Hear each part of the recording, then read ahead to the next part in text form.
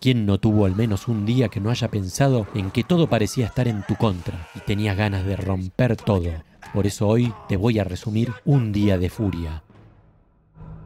Todo comienza cuando William, interpretado por Michael Douglas, se encuentra encerrado en el tránsito del cuasi apocalíptico Los Ángeles.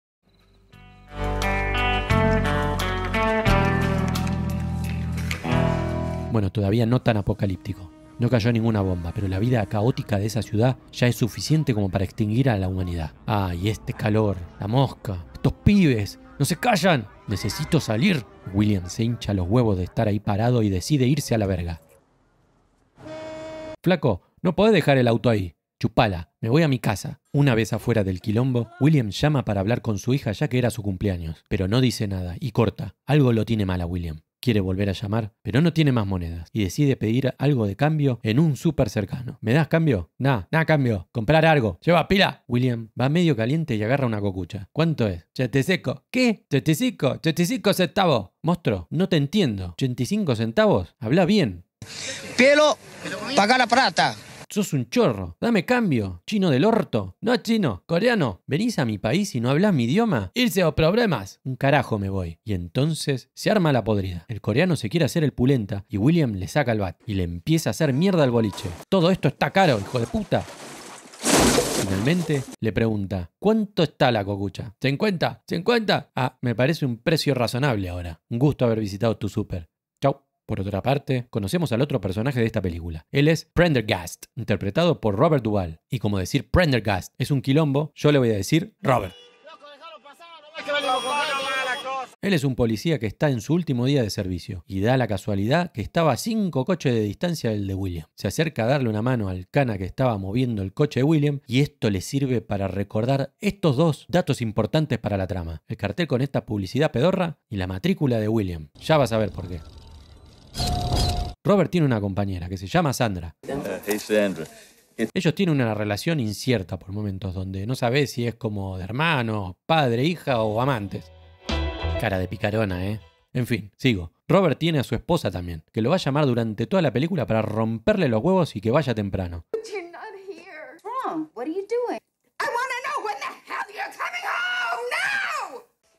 Bye bye. Jefe, hoy es su último día. Necesito su arma. A ver, si todavía no terminó el día, ¿cómo le vas a sacar el fierro al cana? Viene su compañero y le dice, ¿todavía no te fuiste, Robert? ¿Querés tomarle la declaración a este coreano que le afanaron? Bueno, dale. A ver, señor Lee, ¿qué le pasó? Tipo con camisa blanca y colbata, me rompió boliche. ¿Y qué le robó? Pasa, hay la gente, yo pobrecito no vi nada. No robó, solo romper boliche y me afanó. Bate de béisbol. Mientras tanto, dos sospechosos latinos van detrás de William. Por supuesto. ¿Qué más pueden hacer dos latinos en Estados Unidos si no es ser sospechosos? Pero esto se da en todos los países vecinos, cuando uno cruza la frontera del otro. Por ejemplo, en Cobra Kai, Miguel va de visita a México, y los que lo roban son unos surfistas yanquis. Ven, el universo balancea todo, no es prejuicio. Los latinos se acercan y le dicen, monstruo, tenés que pagar peaje por estar acá. Bueno, muchachos, no se pongan así. Yo me voy y no tenemos problemas. Bueno, te va, gato. Danos el maletín. ¿Querés maletín? Yo te doy maletín. Tomá. Y los recaga batazo. Vengan ahora, porongas. Acá tienen maletín. Los latinos salen cagando.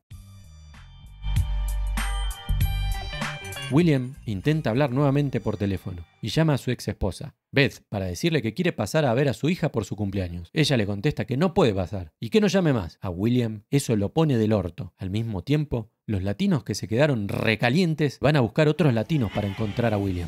Entonces, lo ven a la distancia hablando por teléfono. Y los chabones, en vez de pasar y meterle un cuetazo solo a él, deciden descargar dos ametralladoras completas sin hacerle un solo rasguño, pero sí hiriendo al que estaba asomando la trompa en ese momento. Pandilleros pelotudos no solo no saben disparar, sino que tampoco manejar, porque no hacen 20 metros que se hacen mierda con el auto. William se acerca y se hace con el arsenal de los latinos.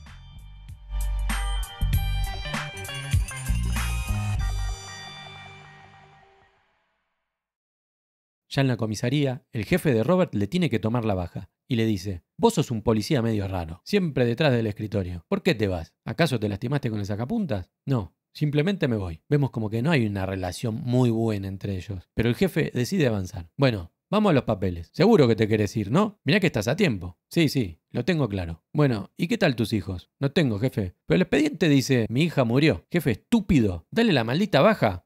Volvemos con William y desde su mirada nos muestra que está todo mal en esa ciudad. Todo es caos. Y el calor, ¡ay, ese calor! Todo mal. Se quiere subir al bondi, pero está hasta la manija. Te entiendo, William. Yo me volví caminando dos horas del laburo a mi casa varias veces, con tal de no viajar como el orto. Ah, malditas ciudades. Entonces se pega la vuelta. Y la única manera iba a ser a pata. William seguía adelante. Y en el camino se cruza con un falopa. Eh, amigo, tenía un P. ¿Un pesito para el bondi? La concha de la lora, es insoportable ese lugar. No, no tengo. Anda a laburar, monstruo. Dale, loco, vos tenés. Mirá, tenés dos maletines y yo no tengo ninguno. Bueno, tomá, pero déjame romper la pelota, flaco.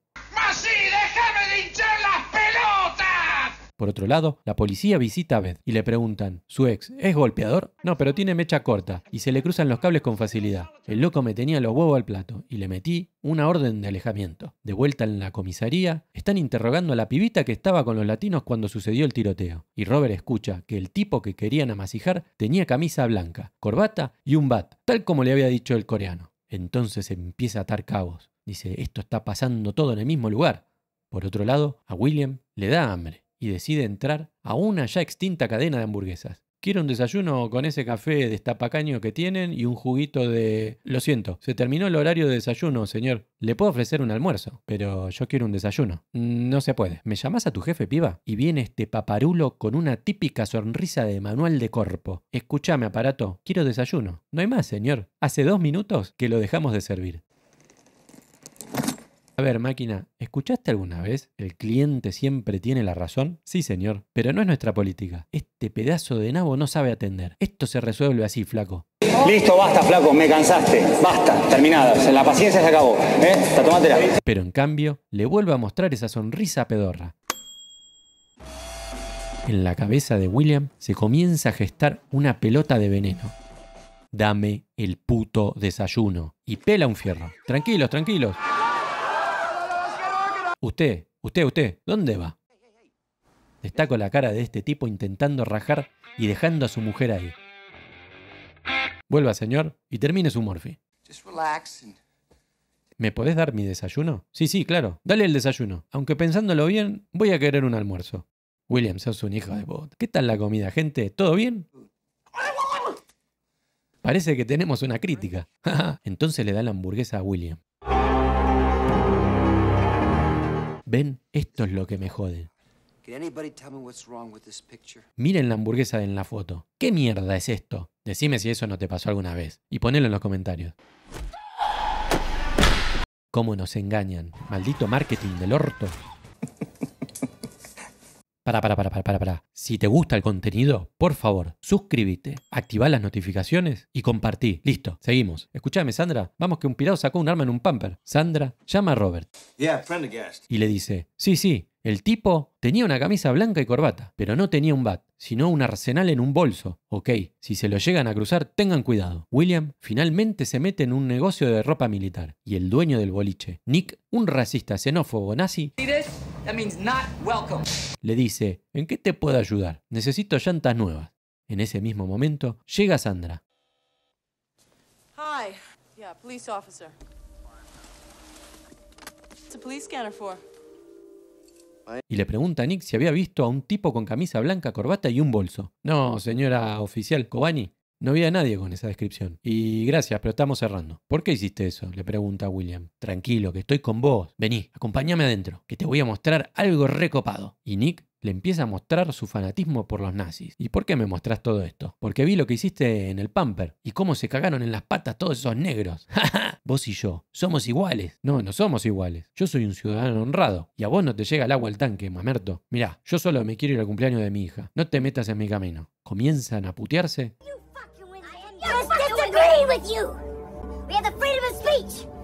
y Nick pela un fierro. Ahora te voy a entregar, pelotudo. A William se le empiezan a cruzar los cables y le mete una puñalada. Se hace con el arma y le da plomo. Robert intenta plantear la idea de que el tipo con camisa blanca, corbata y el bolso está armando todos estos quilombos. El jefe le dice, no seas pelotudo, ¿qué? Entonces vamos a tener que arrestar a todos los que están vestidos así y llevan un bolso. Mirá, vos sos un policía cagón que está detrás de un escritorio. Nunca me caíste bien. Tómatela. Robert va a ver al primer lugar donde comenzó todo este quilombo. ¿Te acordás? Lo del coreano. ¿Y te acordás cuando conocimos a Robert y te dije los dos datos importantes para la trama? Bueno, el loco ve el mismo cartel que había visto desde la autopista. Se pega una corrida para buscar la misma perspectiva de donde lo había visto. Dice, ya está, el coche era de este tipo. Vamos a averiguar la matrícula de este coche y seguro vamos a dar con el tipo. Dan con la madre de William, la cual les explica que es un pibe con algunos temitas, con algunos traumas. A veces los patos se le van a la zanja y te mira como si te fuese a degollar, pero fuera de eso es un buen chico. Robert se hace de una foto de William y consigue la dirección de la ex mujer.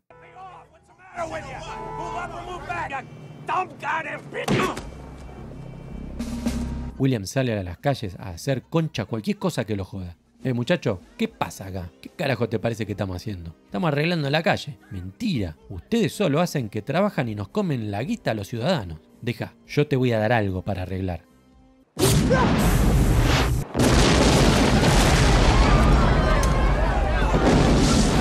Bueno, William intenta llegar al cumpleaños de su hija, y al intentar acortar camino por una cancha de golf, se encuentra con dos viejos chetos que lo putean por estar pisando su pasto, y uno se hace el pulenta tirándole pelota de golf. Ah, viejo concheto, ahora me toca a mí. Al viejo le da un bobazo, y William le dice, mira qué viejo pelotudo, ¿eh? Me hubieses dejado pasar. En cambio, te vas a morir con ese sombrero estúpido. Todo se estaba yendo al carajo. William hace una última llamada a Beth y le dice, te voy a visitar, estoy a un paso, prepárate. William llega a la casa, pero Beth sale cagando con la hija por atrás. Unos minutos después, arriban a la casa Robert y Sandra. William se escapa por la parte de atrás metiéndole un cuetazo a Sandra. Robert sale detrás de él y William recuerda el lugar preferido de Beth, el muelle. Y como Beth es medio pelotuda, no busca un peor lugar para arrinconarse. Mirá que tenés lugares, flaca, en esa ciudad del orto. Criatura estúpida! Entonces llega William, enfierrado. Beth le dice, no podemos estar juntos. ¿Cómo que no? ¿No te acordás? Hasta que la muerte nos separe. Cuando tu muerte nos separe. William se abraza con su hija para decirle cuánto la extrañaba. Dale, Will, tenés que parar con esta locura. Estás enfermo. ¿Enfermo? ¿Vos caminaste por esta ciudad de mierda? Aparece el ninja Robert.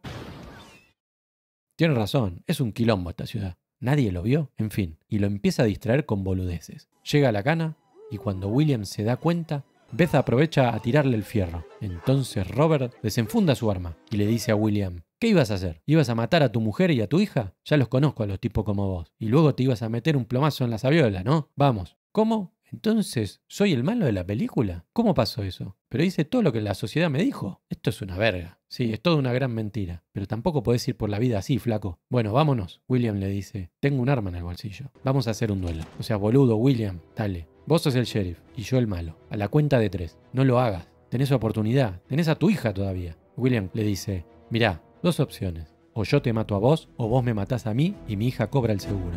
Y entonces William dispara primero, pero con la pistola de agua. Finalmente, William recibe el disparo y cae al mar. Aparece el jefe de policía diciendo, sí, fue uno de los nuestros que se dio cuenta. Yo siempre confié en él. Ah, miren, ahí está. Eh, Robert, muy bien. Ah, sí, gracias, jefe. Andate a cagar. Andate bien a cagar. ¿Va a ver a Sandra? Vamos, Sandrita, vas a estar bien. Y se sienta con la hija de William. ¿Cómo te llamas, nena? Adele. Ah, pero qué lindo nombre. ¿Y vos? Al. ¿Cómo Al? Sí, al horno. Así me voy a llamar cuando le diga a mi mujer que voy a seguir siendo policía. Esto fue Un Día de Furia. Suscríbete, compartí, dale me gusta o no me gusta o lo que quieras. Y déjame en los comentarios si tuviste un día parecido al de William. ¿Qué es lo que te hizo encender la mecha? Y mirá alguno de estos videos. ¡Chau!